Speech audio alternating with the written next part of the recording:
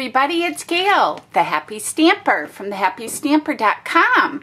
Thank you for stopping by today. I am so excited to share this card with you. This was one of my beautiful swap cards that my Stampaholic, the big group that I'm a part of with my upline, this was one of two of my swap cards. And I think it's so beautiful. I think it's so elegant. I just it makes me speechless. but I want to show you how easy it is to put this together and how quickly it can come together. So it's got a little bit of bling. Uh, it just says snow and winter and it's just such a peaceful looking card. I love it. And oops, I don't know what just fell, but I think this is going to be our family Christmas card this year. Um, so we'll see. Wish me luck. But let me show you what I have used to create this project. All right, starting first with the Christmas Pines stamp set, and this is fabulous. Oh my gosh, it has pine cones and snow. I love tidings of comfort and joy. That's a wonderful sentiment. There's many of them in here. And I really like sets that do that. It also comes as a bundle, so as many of you already know, you get 10% off. But I used today for this card this die. And there's several other ones, so you can really make some beautiful, very realistic looking um, pine cones.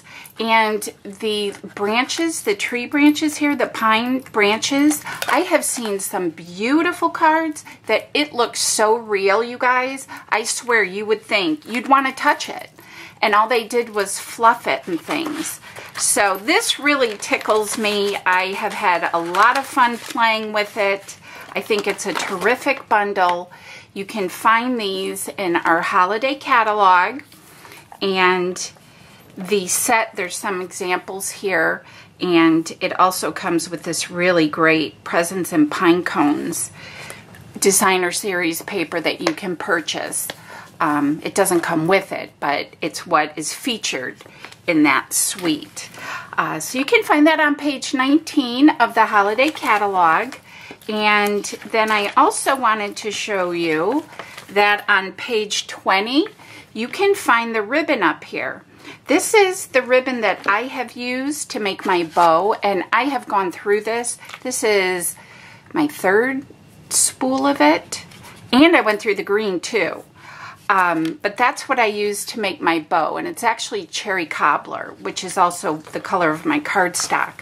So this comes in a two-pack in the catalog, and it comes with a roll of emerald green envy and cherry cobbler. So that's where I got this from if you're interested in duplicating it. So now I've got schmug on my hands because I wrote on it and my marker wasn't dry. But that's okay because I'm used to having inky fingers.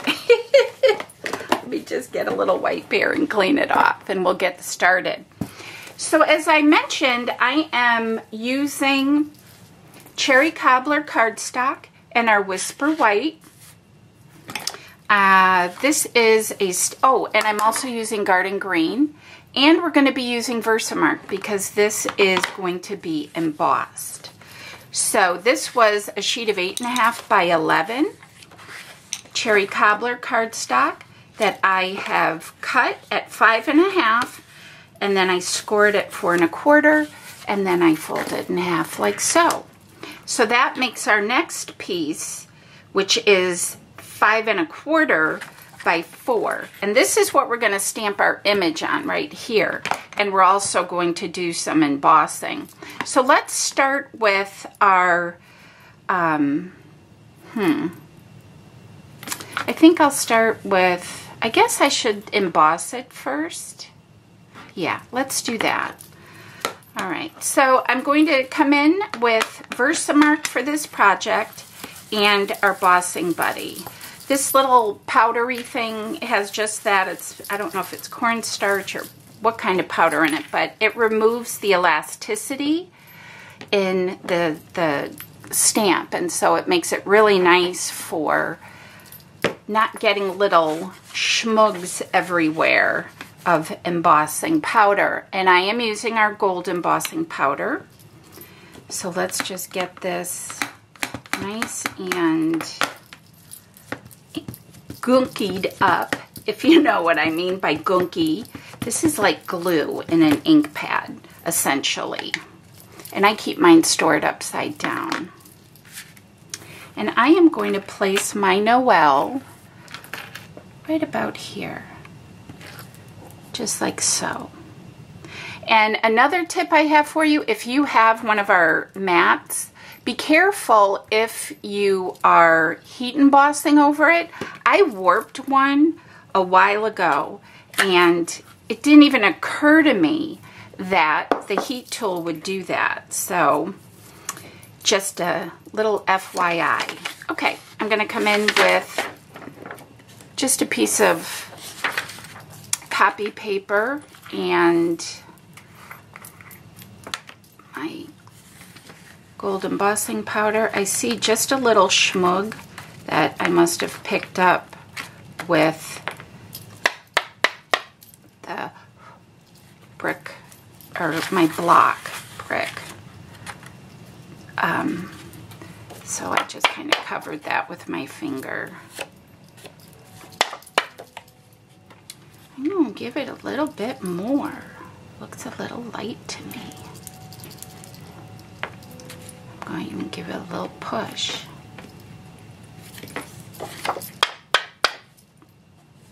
Why does it look so light? Hmm. Well, I don't know. Well, now it looks better. What was all that about? I don't know. Okay, sorry. And I'm gonna set this over here, pour it back in my little jar. It seems like you use a lot, but you really don't, not when you go back and put it back. Okay, we're to heat up our heat tool. This is an old one. I've had this forever. Forever. And just let it get nice and hot. I don't know why that looked so funny. You know, it didn't look like it was um, taking to it for some reason. I don't know. I like to do both sides. And I hope it'll show up on camera as it changes to literally it's like a plastic. Awesome. Awesome, awesome.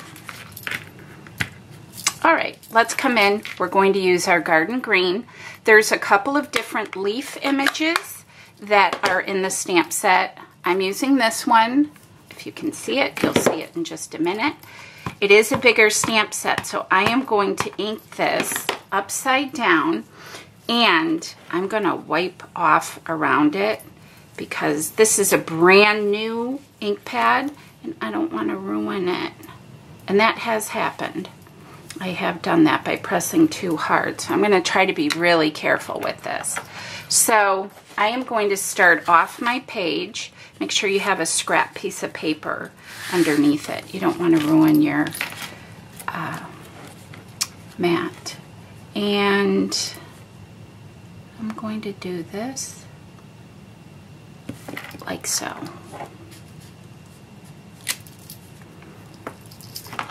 I'm going to give it another press.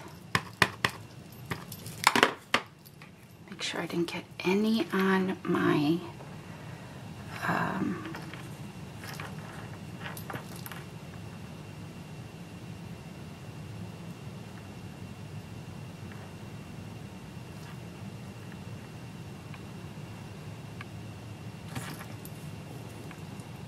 let's see.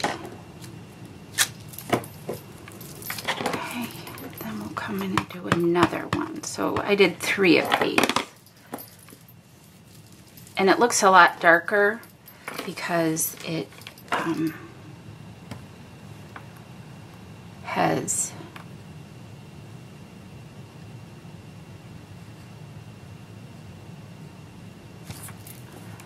um, this is a new set start sorry I'm in the middle of house cleaning today and then I'm like you know what I'm gonna just go film this video Thought I put all the cleaning stuff down it's got to sit and soak anyways for you know 10 minutes or so so I thought perfect I'll come down here and do this because I was so excited to share it with you okay so I have already gone ahead and I die cut my little um, I almost called it a pineapple, but it's a pine cone, not a pineapple. And I'm looking for my pop dots, which are right here. We'll put a couple of those on this. I just love this card. Love, love, seriously, and I know I say that, but this is so our family. And I just think it's beautiful. So I'm going to have it hang right about there from my uh, pine cone. And then I am going to, I've already gone ahead and I got some little gold gems. And this comes from our gold, um, what do they call this? Sequins. I don't know why I couldn't remember that, but it's on a roll. So I just plucked a few off and that's, I keep them in this little jar. You know what? That looks like a silver one from another project. So we're going to just, I'll put one, two,